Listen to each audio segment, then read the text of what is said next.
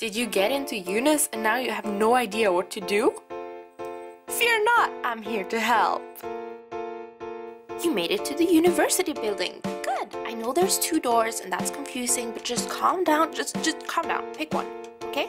It's fine. There you go. You picked one. Good job. Okay? But just read the sign. Read the sign. There you go. It says Svalbard Museum and that's not the right entrance. So let's try the other one, shall we? There you go. Now approach it and read the sign. Read the sign.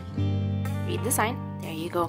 University Center of Svalbard. It's the correct entrance. You're welcome. You got there. Beautiful. When you walk in the main entrance, you may notice that there's a lot of shoes. Like a lot of shoes. So take your dirty shoes off. There you go. But if your feet get cold, then you might want to get some indoor shoes to keep them nice and warm.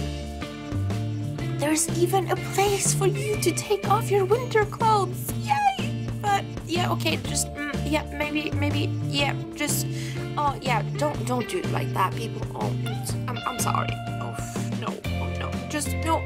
Mm, never mind.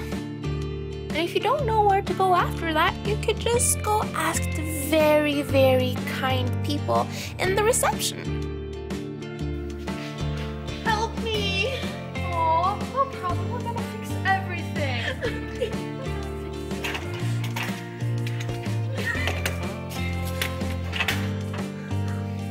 there you go. I just wanted a place to live. I guess that's not the ideal situation. Maybe just yeah, maybe not yeah, mm, not sleep at the school. Um, yeah, that doesn't look pleasant, does it? Okay, a bit over dramatic, but still, yeah. Instead, you can go to the website and apply for a place to live. Ta-da! Just do that before you get here, cause yeah, that's smart. But if you're accepted as a UNIS student, you will get a place to live, so it's all good. But you really can get everything you need in Longyearbyen. There's a post office, a free store where everything is free. There's a pharmacy, and there's a hospital if you need something more than a pharmacy. There's a store with regular food and well, it's vegetables and fruits, and I mean it's all expensive, very expensive especially the cheese and the meat and the dairy all together, but it's there, it's accessible. And then there's this house. Oh, it's a good because it's not only a cafe, but it's a cinema and it has a library. How cool is that, right? And then there's sports store, not just one, not just two, not just three, but four sports stores. But this one is a good because they sell the UNIS jacket and pants. Wow, so fancy, very fancy, super fancy.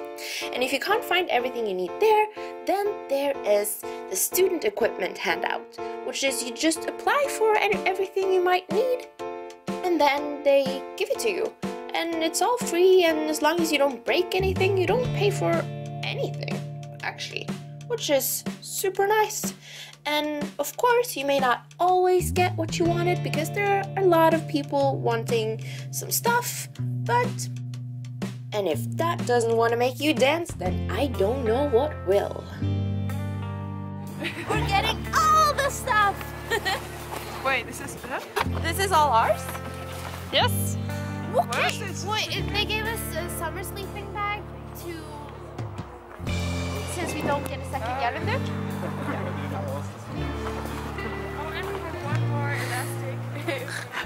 you done yet?